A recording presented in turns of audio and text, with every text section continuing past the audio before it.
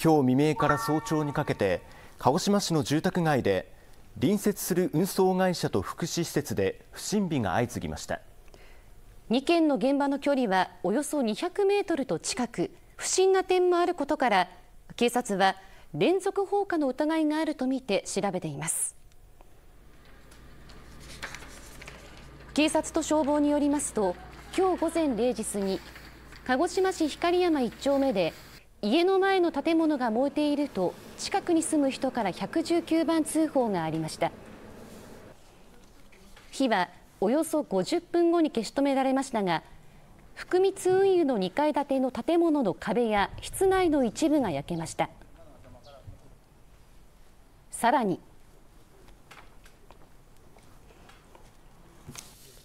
火が出た建物から南へ歩いていきます。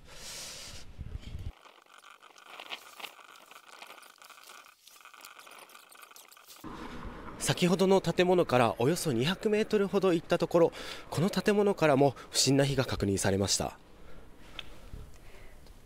午前5時ごろ1件目の現場からおよそ200メートル離れた福祉施設でゴミ箱が燃えていると通報がありました。普段は何も置いていないという正面のシャッターの下には何かが置かれ燃やされたような跡。そして建物の横に置かれていたゴミ箱は焼け空き缶が散乱しています。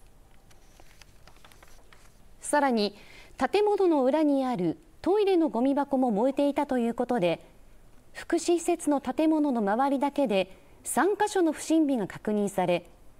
いずれも消防隊が到着後すぐに消火されました。どちらの火事も出火当時建物内に人はおらず怪我人はいませんでした。なんでこんなところで立て続けに起きるのかなっていうのが怖いです。会社とか自宅とかもなんか防犯カメラつけないともう早々にしないとっていうのをあの子どもたちからも言われました。ここは本当静かな町だったんです。一人だからもう80になっているからやっぱ怖いよね1件目の火事があった運送会社では昨日も不審火が確認されていて警察は連続放火の疑いがあるとして調べています。